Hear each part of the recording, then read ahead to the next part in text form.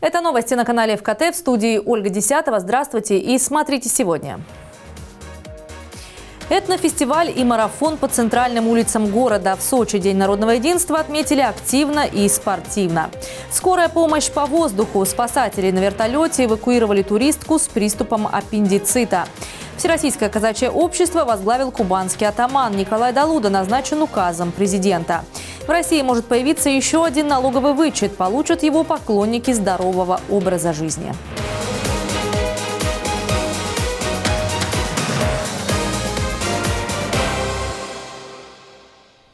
13 тысяч человек пришли отметить День народного единства в Краснодаре. Главные торжества проходили на Пушкинской площади. Это один из самых молодых государственных праздников. Он появился в 2005 году, но уже стал по-настоящему любимым и народным. Всех собравшихся поздравили губернатор Краснодарского края и председатель законодательного собрания. Сейчас мы стоим на этой площади и не делимся на национальность, вероисповедание, культуры, потому что мы все связаны одной страной, одной нашей великой Россией. Мы все связаны одной судьбой – Потому что судьба России – это судьба наша, это судьба каждого из нас. Ценнее силы оружия, сила сплоченности народа, объединенных одной общей целью. Сплоченность народа и его сила духа были, есть и будут главным оружием нашей страны. Мы разные. Мы разные по взглядам, где-то по оценкам ситуации. По жизненным принципам мы тоже разные. Но мы едины в том, что мы хотим жить в мире и согласии в своей стране, на своей земле. В этом мы едины. Мы все хотим жить в сильной и процветающей России. И вот такую сильную и процветающую Россию мы хотим передать нашим детям, внукам и последующим поколениям. Этот праздник объединяет 85 регионов нашей страны, соотечественников, которые проживают за рубежом, всех тех, кто любит нашу страну, нашу культуру, нашему народу всегда были присущи единство, забота о будущем страны. Это фундамент, это основа государства российского. Вениамин Кондратьев сказал, что на Кубани как нигде чувствуют и сохраняют единство народов, проживающих в регионе. А события 1612 года, когда Россия сплотилась и дала отпор польским интервентам, это яркий пример веры абсолютно разных людей в свою страну. И такие уроки нельзя забывать. Давайте по-настоящему жить в этом реальном мире реальными ценностями – реальной нашей культурой, традициями, верой, реальными достижениями и результатом своей жизни, а не виртуальными. Давайте не поддаваться тех, кто из виртуального мира пытается полностью раздробить нас, посеять какие-то сомнения. Им нужна смута, как это было когда-то 400 лет назад, но они не учитывают только одно. Народ обмануть нельзя. Когда нужно, да, такая наша страна. Народ образует единый мощный кулак и бьет на отмаш. Концерты, выставки, народные гуляния. Торжества на Пушкинской площади шли до самого вечера. А в Центре национальных культур всех желающих угощали традиционными блюдами. Ну, в Сочи также накануне отметили один из главных праздников многонациональной России. Торжественные мероприятия начались с богослужений в храмах курорта. В кафедральном соборе равноапостольного князя Владимира службу возглавил епископ Сочинский и Туапсинский Герман.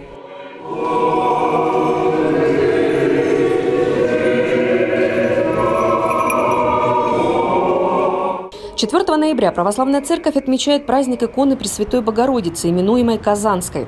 Основные же светские мероприятия на курорте проходили на площади у Южного мола.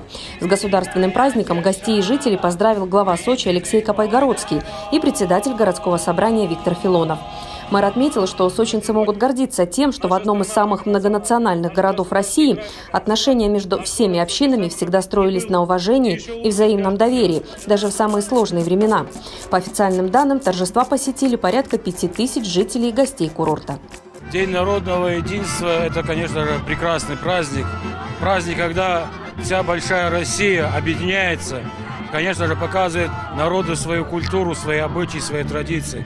Это день, когда мы можем пообщаться и, конечно же, узнать многое друг о друге. Я думаю, что наш город Сочи – это образец взаимопонимания, дружбы. И вот как подтверждение сегодня – это праздник. Мы вместе, мы едины, мы сила. И мы желаем, чтобы во всех городах было так, как у нас. И тогда у нас будет мир и покой во всей стране. На площади было много людей в национальных костюмах. По традиции, в День народного единства национальные общины Сочи угощали гостей блюдами кавказской, европейской и азиатской кухни. Демонстрировали колорит этносов, проживающих на территории курорта. Знакомили с особенностями их быта.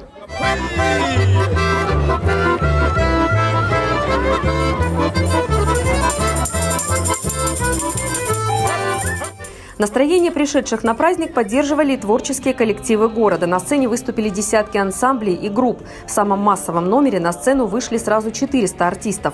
Торжественные мероприятия на площади Морпорта завершились к 4 часам вечера. Но горожане и гости курорта продолжили отмечать День народного единства дальше, с родными и друзьями. Многие просто отдыхали на море. В Сочи, судя по прогнозам, бабье лето. Вчера термометры показывали плюс 19, но это не предел. Температура, как ожидают синоптики, в ближайшие ближайшие дни может подняться до 22 градусов. Галина Моисеева, телекомпания ВКТ. День народного единства в Сочи отметили по-спортивному. Более 4,5 тысяч человек приняли участие в ежегодном международном марафоне в Сочи. Он прошел на курорте уже в четвертый раз и каждый год привлекает все больше любителей здорового образа жизни. В этом году на дистанции вышли бегуны почти из 400 городов России. Были и иностранные гости, причем многие приехали на курорт специально, чтобы принять участие в марафоне. Атмосфера вообще замечательная. Люблю забеги. Приехала из Крыма. Э, уже второй раз сюда приехала. В прошлый раз бежала 21, сейчас 10. Вот, трасса необычная, с горочками, со спусками. В том году бегал, бегал полумарафон дочь у меня 4 года, она до сих пор это помнит. Весь год мне папа, папа, мы поедем на марафон. И вот я здесь. На выбор было три дистанции, полноценная марафонская, половина ее длины и самая короткая на 10 километров. Участники основного забега стартовали первыми в 9 утра. Через час на дистанцию вышли остальные бегуны. Маршрут начинался от северного мола Морпорта, после участники бежали до стадиона, затем в обратном направлении. По всей дистанции были расставлены столы с водой, чтобы участники не страдали от обезвоживания. Кроме того, были и пункты с фруктами, чтобы бегуны могли подкрепиться, так как на больших дистанциях дистанциях затрачивается много энергии. У каждого спортсмена был чип, который фиксировал скорость и время. Каждый год марафонцам в Сочи везет с теплой погодой. Для многих забег уже стал настоящим спортивным праздником. Участвовать приходят целыми семьями. На дистанции можно было и встретить тех, кто бежал с детскими колясками. Некоторые специально подбирают костюмы для забега. В следующем году организаторы хотят изменить трассу. Если сейчас забег на 42 километра проходит в 4 круга, то в планах сделать один за счет удлинения удлинения самой трассы. 42 километра в один круг очень сложно, но теперь мы станем совершенно равны главным международным марафоном, и что позволит нам привлекать значительно больше людей. Наша цель в 2025 году получить 20 тысяч человек, участвующих в этом мероприятии. Победители дистанции наградили кубками, а все без исключения участники получили медали. К другим новостям. Самый длинный тоннель обхода Сочи закрылся на капитальный ремонт. Схема движения изменилась минувшей ночью. Речь идет о тоннеле номер 6. Для проезда закрыт участок объездной от развязки с улицы Пластунской до пересечения с дублером курортного проспекта на Мамайке. Капитальный ремонт продлится чуть более года. Вновь движение по отремонтированному тоннелю планируется открыть 1 декабря 2020 года. Об этом сообщили в пресс-службе управления дорог Черноморья. Спасатели эвакуировали из перевала Тхач туристку с приступом аппендицита. Для этого пришлось задействовать вертолет. Поисково-спасательный отряд позвонил участник зарегистрированной туристической группы, которая находилась на перевале Малого и Большого Тхача. Это Майкопский район Республики Адыгея. Мужчина сообщил, что одной из участниц похода стало плохо, подозрение на аппендицит, требуется срочная эвакуация. Из Сочи сразу же вылетел вертолет с пятью спасателями на борту.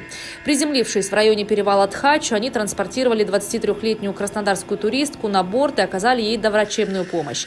На базе спасательного отряда в Сочи девушку передали врачам скорой помощи, пострадавшую доставили в городскую больницу номер 4. В Сочи сожгли 27 тысяч пачек нелегальных сигарет. Сотрудники транспортной полиции вывезли на полигон 43 коробки в рамках исполнения приговора Адлерского районного суда. Ранее в аэропорту Сочи при выезде с территории грузового терминала был задержан 35-летний местный житель с нелегальным грузом. Из личного автомобиля мужчины полицейские извлекли более 2000 блоков нелегально провезенных сигарет. Сочинец планировал перепродать их в России. Средняя рыночная стоимость всей изъятой продукции – более 2 миллионов 700 500 тысяч рублей. Это по Уголовному кодексу является особо крупным размером. В отношении 35-летнего жителя Сочи было возбуждено уголовное дело. Адлерский районный суд оштрафовал мужчину на 200 тысяч рублей, а всю контрафактную продукцию потребовал уничтожить. В Сочи отметили 101-ю годовщину Дня военного разведчика. Началось празднование автомотопробегом от Зимнего театра, а продолжилось возложением цветов к памятнику воинам-интернационалистам на Цветном бульваре. Почтить память ушедших собрались действующие разведчики различных войсковых подразделений, ветераны, те, кто проходил срочную службу в рядах военной разведки, воспитанники военно-патриотических клубов и представители общественных организаций. Поздравляю всех разведчиков с праздником.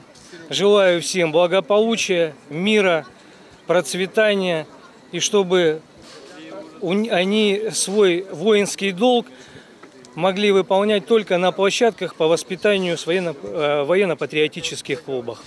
День военного разведчика в России празднуется ежегодно 5 ноября. Именно в этот день в 1918 году было создано Главное разведывательное управление ГРУ.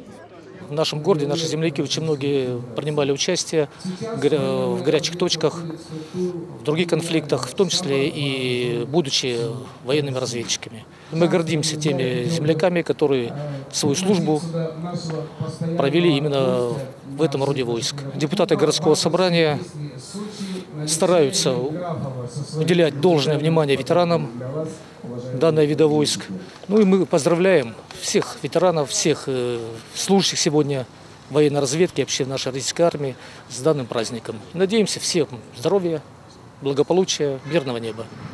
Военная разведка всегда была элитой армии и мощным инструментом защиты национальных интересов страны. В этих войсках служил и Константин Барбаянов. Ветеран войны в Афганистане знает не понаслышке значение слова «война». И именно пожелание мирного неба – самое главное и в адрес подрастающего поколения. Самое главное – мирного неба над головой, чтобы у них были только учения и занятия, чтобы не было войны, потому что война – это страшно. Я не буду даже говорить, хотя мне пришлось повидать такие вещи, о которых не хочется даже вспоминать, но поскольку человеческая память избирательна, как-то не получается забыть об этом.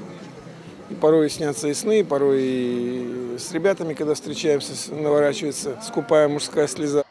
В этот день по традиции вспоминают ушедших воинов. В их честь во всех городах страны сегодня возложили цветы и звучали военные песни.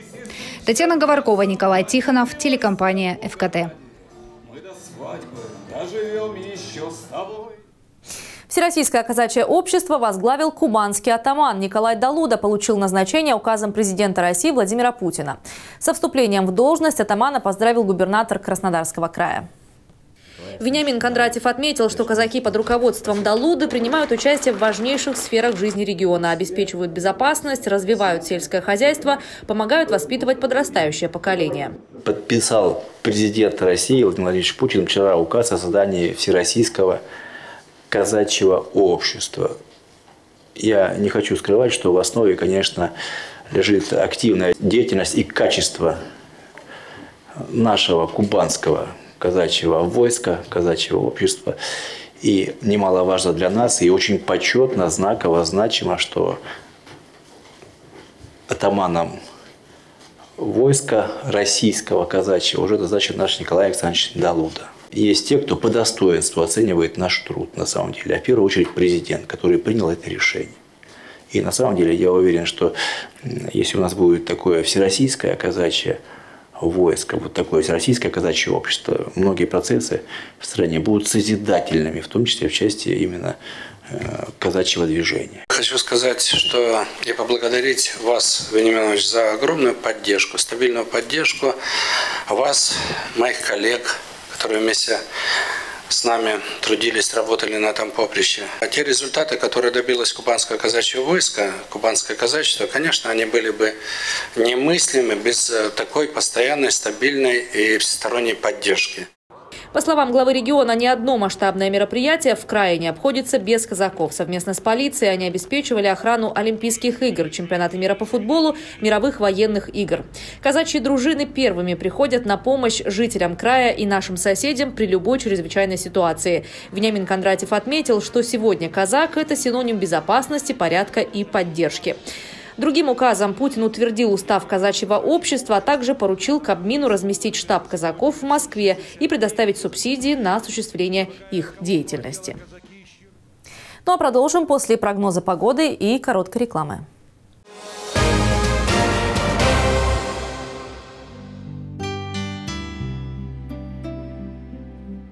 6 ноября в Сочи ясно. Температура воздуха ночью плюс 10, плюс 12. Днем 18-20 градусов выше нуля. Температура морской воды плюс 19.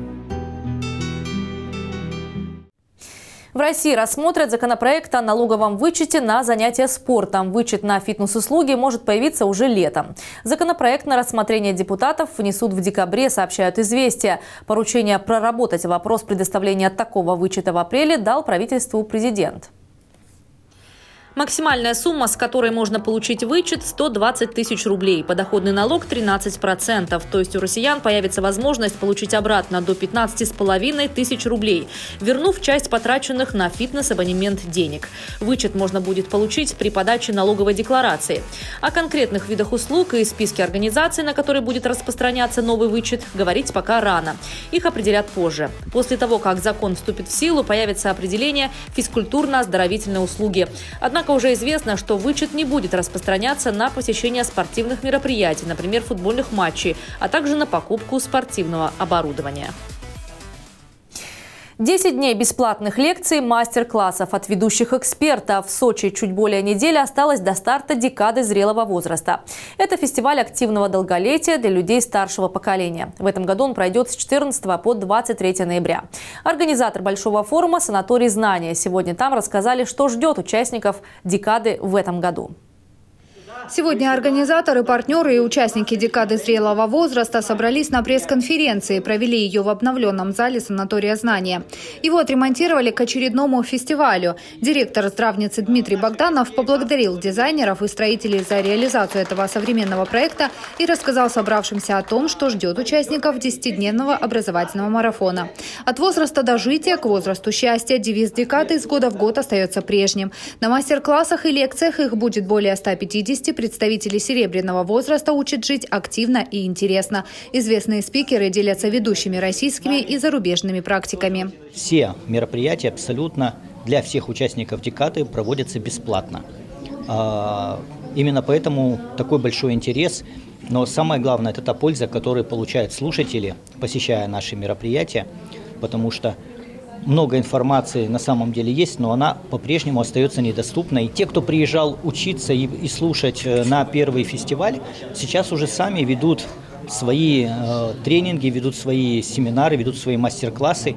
В этом году ожидается 70 спикеров и около 3000 участников из 70 регионов страны приедут даже из Казахстана.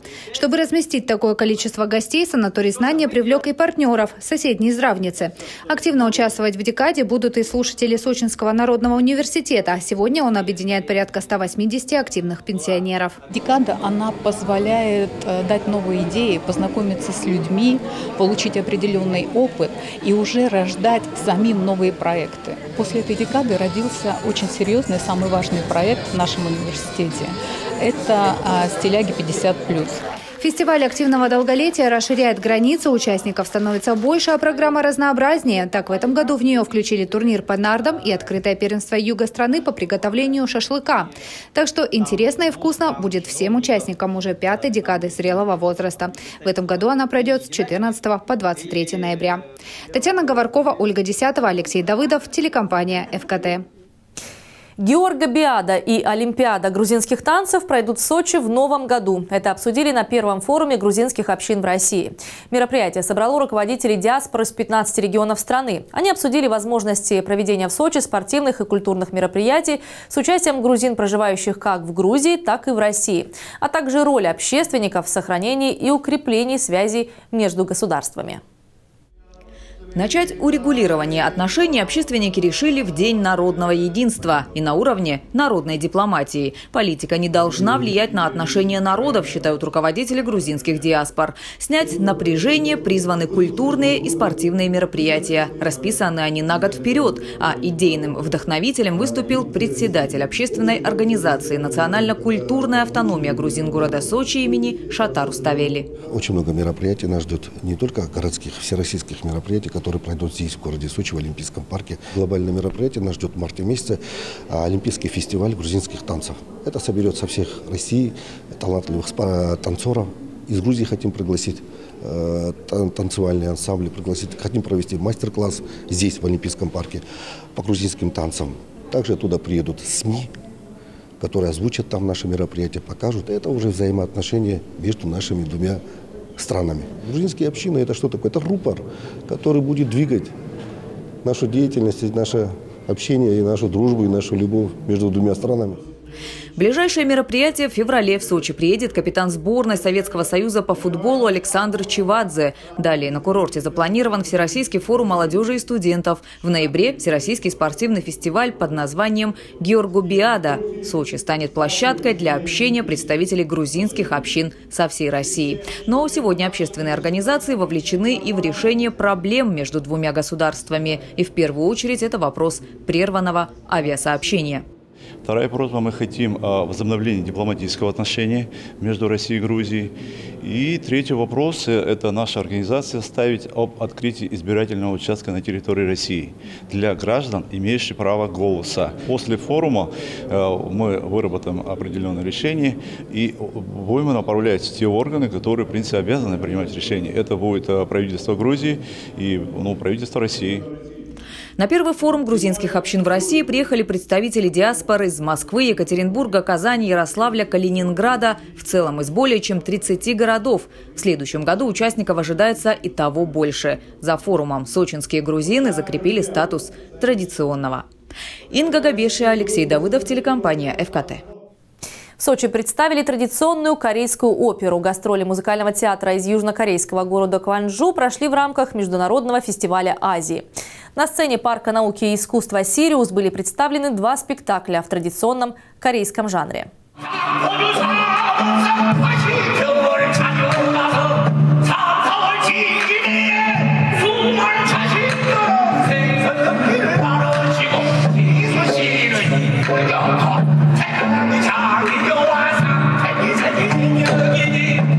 Чангук – традиционная корейская опера, исполненная в стиле корейской народной песни. Главная особенность этого искусства – это то, что здесь нет четкого разделения на оперу, балет или драму.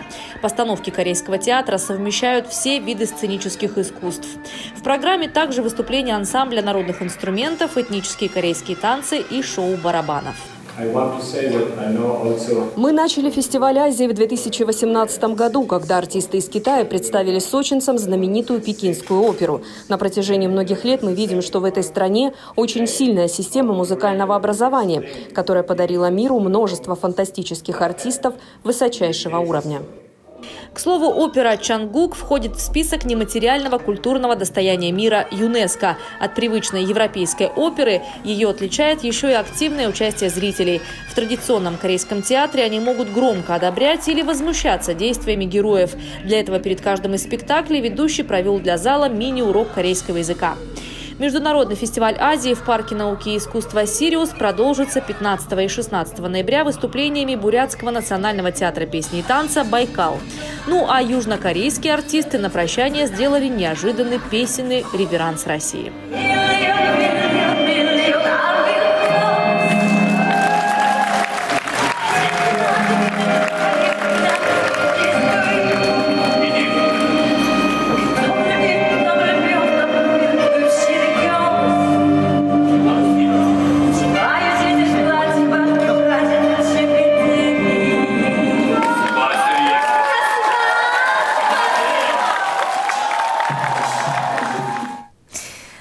На этом я с вами прощаюсь. Мне остается добавить, что все новости уже на нашем сайте fkt.com. Смотрите нас в кабельных сетях «Радист» на 56-й кнопке и телепакетах «Билайн» на 76-й, а также в социальных сетях, в группах «Говорит Сочи», в Фейсбуке, Инстаграме, Одноклассниках, Телеграме и в сообществе ВКонтакте. Ну и заходите на наш канал в Ютьюбе «Говорит Сочи». В студии была Ольга Десятова. Всего доброго и до встречи в эфире. Одежда ведущей предоставлена мультибрендовым магазином российских производителей «Сезоны». Это новые тенденции, качественные материалы и безусловный комфорт. Найдите свой стиль по адресу улица Парковая, 17.